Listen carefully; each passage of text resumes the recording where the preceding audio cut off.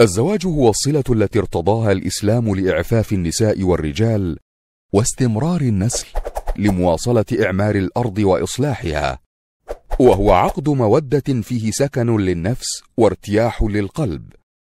قال تعالى ومن آياته أن خلق لكم من أنفسكم أزواجا لتسكنوا إليها وجعل بينكم مودة ورحمة. والمرأة المسلمة حين تقبل على الزواج فهي تقدم على مرحلة جديدة في حياتها. تعد مرحلة مهمة وجليلة الشأن. فلا بد أن تعرف متطلبات نجاحها. فإن جزءا كبيرا من سعادة بيتها واستقراره بيديها إن هي أحسنت التهيؤ والاستعداد لهذا الأمر.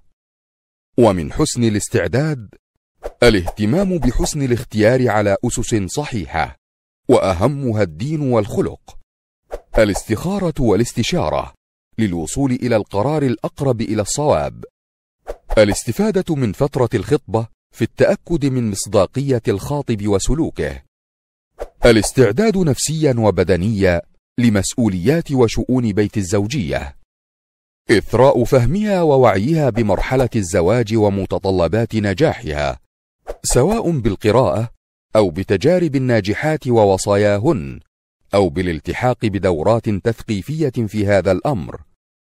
معرفة حقوقها وما يجب عليها تجاه زوجها وأن حسن تبعلها لزوجها ليس لنجاح زواجها فقط بل هو قربة وعبادة لله تعالى. ولتعلم المرأة أن بيت الزوجية هو مملكتها الجميلة ومستقر سعادتها ومحضن أطفالها وبحسن تصرفها في تدبيره ورعايته تتضاعف سعادتها وتنال رضا الله وجميل ثوابه.